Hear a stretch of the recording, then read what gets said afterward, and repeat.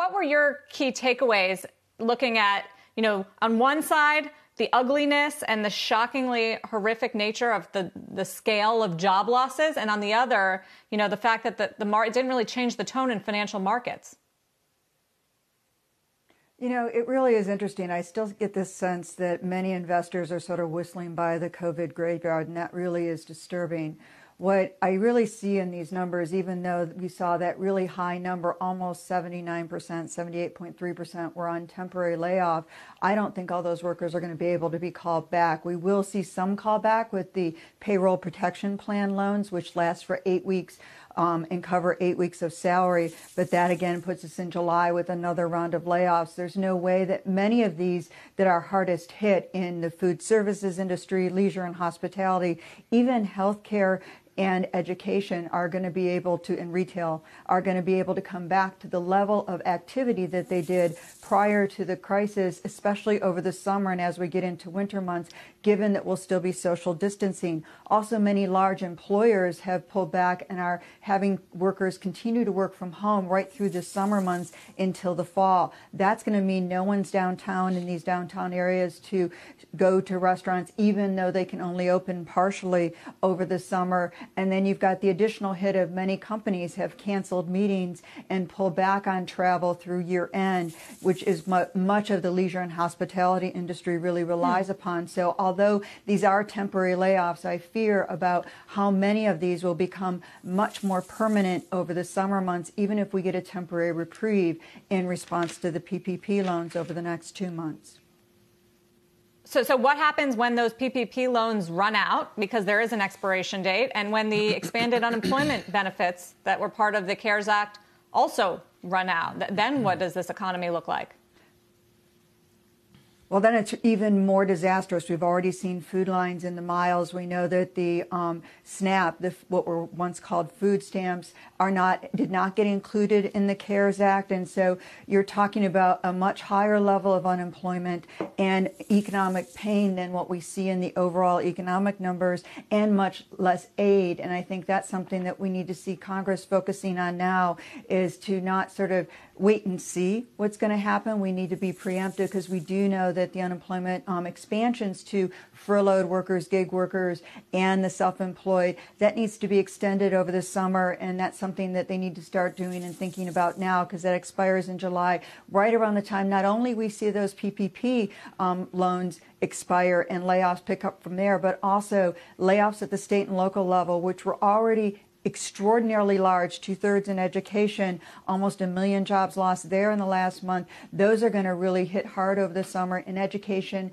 and first responders if we don't see transfers to the state, because many state and local governments start their fiscal year on July 1st. So I'm very worried about the need for continued aid and relief out there and then a stimulus bill on the other side of it. And I'm hopeful that Congress will come up with something. I'm worried they won't come up with enough and they'll wait too long. Meanwhile, Diane, uh, people were uh, raising their eyebrows at Fed funds futures yesterday. Uh, the prospect of negative rates. Now, Kevin Hassett's on the tape this morning saying that if the Fed does decide to go there, uh, he would support it, although he, re- he reiterated that the, the, Fed has independence. How much of, of, that is on your radar this week? You know, it's really interesting. Um, actually, um, the president of the Philadelphia Fed did a speech at the Council on Foreign Relations, the Chicago Council yesterday, and it was fabulous. And he addressed directly the issue of negative rates and said how inappropriate it would be to do negative rates in response to this particular crisis. There may be, and he has a very high threshold for negative rates down the road in response to a more normal recession, but he couldn't see anything about how negative rates would reopen businesses that literally closed as a result of this. And one of the things the Fed is worried about is the number of bankruptcies we see over the next year and how much consolidation we see, and negative rates don't change that equation. The Fed also used, um, looked at negative rates as part of their review on what they would use as tools going forward. And negative rates were very low on the list because their efficacy abroad has been very limited and very mixed bag. And, they, and especially in the United States, they could have a particular blow to the banking system and money market funds. So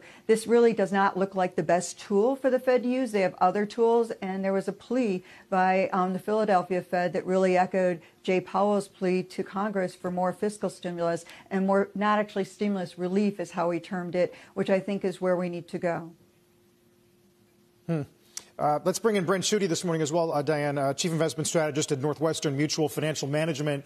Uh, Brent, Diane's been talking about um, obviously horrific jobs numbers, hit to purchasing power, uh, bankruptcies. Uh, we're getting to a point here where the Bulls are making a stand in ways they haven't in a couple of weeks. How do you explain that to people?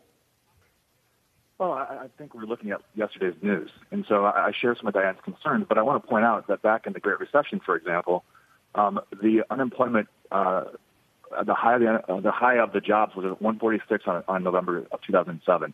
We didn't trough till two years later, and then we didn't get all those jobs back until 2014.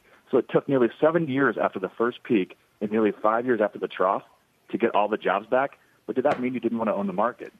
And so to me, the, the, the market is more reflecting the fact that we're beginning to climb out of the economic valley. Uh, it's going to be uneven. It's going to depend upon how the virus proceeds. But we are starting to climb out, and that's what the market's looking at. It's looking forward and suggesting that perhaps as we climb out of the economic valley, uh, better days are ahead from the standpoint of uh, employment numbers, better days are ahead from the standpoint of GDP, and we don't have to recoup all of that for uh, the market to move higher. And so that'd be point one. Point two I'd make is that I do think the, the market does reflect current reality. You have a few stocks that have held up the S&P 500. So they've largely been uh, virus proof. Think of the FANGs, for example. The other side of the equation, the more economically sensitive ones, they're actually down 24, 25, 30 percent. And so I do think there's reality being reflected in the markets, and I think that's a comment that people are making that I think they're kind of missing the, the boat about what's happened in the market.